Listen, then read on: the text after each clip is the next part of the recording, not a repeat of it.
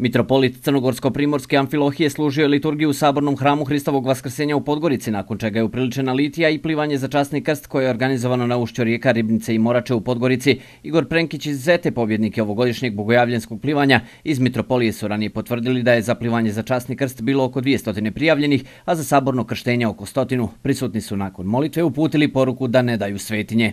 Nema te stvari koja može pokolebati i e, da skrenemo sa ovog puta.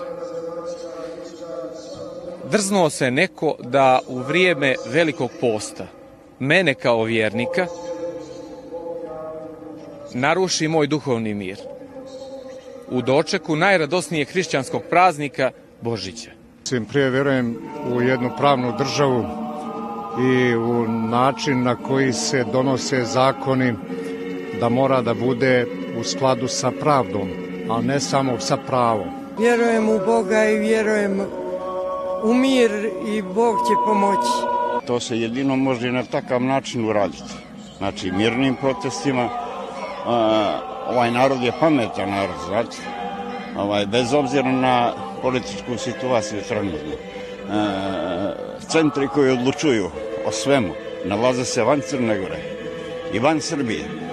Znači, to samo treba izdržati. Osim u Podgorici, plivanje za častni krst organizovano je u Tivtu, Bijelom polju, Ulcinju, Beranama, Herceg, Novom Bečićima, Danilov, gradu i Baru, a danas se oglasio i crnogorski predsjednik Milo Đukanović, koji je u izjavi Tanjugu rekao da Crna Gora ni slučajno neće povući novi zakon o slobodi vjeroispovijesti. Vremena za dijalog oko samog zakona je bilo više nego dovoljno. Podsjetit ću vas da je ovaj e, zakon ili da je, da je pa izrada ovog zakona pokrenuta 2015. godine, a smo tada imali jedan ciklus javne rasprave, da je nakon toga taj zakon povučen zbog e, potrebe intenzivnije njegove dorade, da je vraćen u, da kažem, javni politički saobraćaj 2018.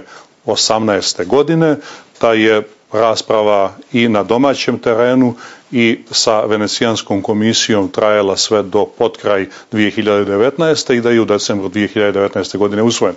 Dakle, ne vjerujem da iko ko je politički ozbiljan može očekivati povlačenje zakona. Na pitanje kako vidi optužbe jednog dijela crnogorske vlasti na račun Beograda pa i predsjednika Srbije Aleksandra Vučića da stoje iza pokušaja da se uzdrma politička scena Crne Gore, odnosno da li predsjedniku Srbije zamjera što podržava prava Srpske pravoslavne crkve, a time i volju, odnosno prava srpskog naroda u Crnoj Gori, Đukanović kaže da Beograd nije uzdrmao Crnu Goru i istakao da Vučić ima poziv da dođe u Crnu Goru kada god želi.